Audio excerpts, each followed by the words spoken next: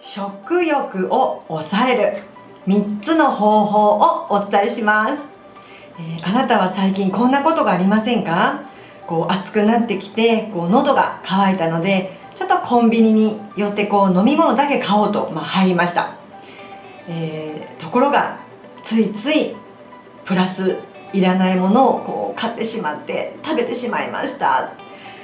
えー、こういったことないですか？飲み物だけと思っていたのについついポテチやチョコレートをこう手にして食べてしまった。ねありますよね。ついついダメだなと分かっているのにこう手が伸びて食べてしまう、えー、そんなお悩みを持つあなたに、えー、朗報です、えー、今からお伝えするこの動画のお話をご覧いただきますとそのこうついつい買って食べてしまうっていうその食欲ですね。を抑えることができるんです、えー、その解決策をお伝えしていきます。まず場面ですね。例えばそのもうまさにこうポテチの封を開ける前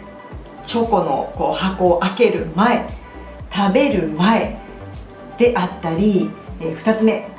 ー、外に外食に行く前、つ目お買い物で、あの、まあ、食材をですねこう買いに行くこう前こういった場面の前に有効な方法を3つなんです。では1つ目です。まずマインドセットをしましょうです。これはどういうことかと言いますとこのような場面の前にですね例えばあなたが大好きな、まあ、憧れのこうスリムなモデルさんのそのお写真をこう眺めてみる。またもう見る限りその体に良さそうなあの食材を使った美味しそうなそのメニューのお写真をこう見てみる、まあ、マクロビオティックとかですね、まあ、お野菜中心でもういかにも体に良さそうなそういったお写真をこうまずは見るなんです、えー、実はこれだけでこう脳にこうスイッチが入りますから、自然とあそうだそうだ体に良いものを選ぼうっていうそのマインドがですねできるというその研究結果が出てるんですね。すごいですよね。見るだけでいいんですよ。なのでこういった、え、場面の前にまずは視覚でそのこう見るですよね。を実践してみてください。そのことで脳を、え、マインドセットしていきます。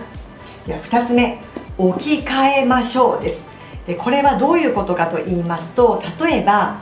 あのチョコレートが食べたくなったら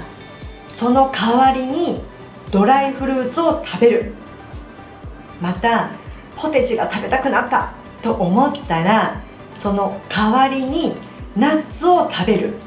といったようにあのご自分の中でその置き換えるルールをもう最初から作っておくということなんです。えこの方法ですとあの全く我慢する食べないっていうわけではありません。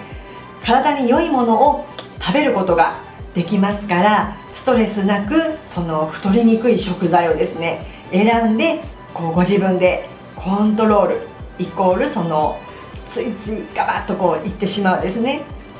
放送した食欲を上手に置き換えて食欲を抑えることができるんです。では3つ目。少量の良い食材を事前に食べておくということです。こういった前ですね、えー、そうすることであのこちら面白い研究結果が出ているんですけれども例えばりんごであったり、まあ、まあフルーツですよね、まあ、先ほどのナッツでもいいです。もうたっぷりのノンカフェインのお茶でもいいです。とにかく何かお腹に入れておくとその自分がですね体に良いものを選べたっていうその自己肯定感が上がるわけです。自分はできたとこう自分自身をこう信じることができるんですよね。裏切らない。嘘つかないです。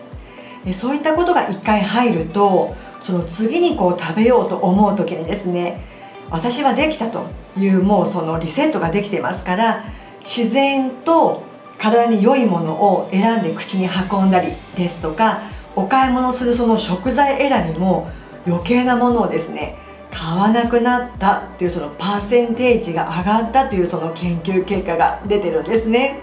すごいですよね。ですから今お伝えしたこの3つ食欲を抑える3つの方法を使って、えー、あなたご自身とそして大切なご家族のためにぜひお役立てください、えー、このお話をこう繰り返しご覧いただいて、えー、周りのお困りの方にもぜひ伝えて差し上げてください、えまたこのお話役に立ったと思ってくださいましたら高評価ボタンとチャンネル登録をよろしくお願いいたします。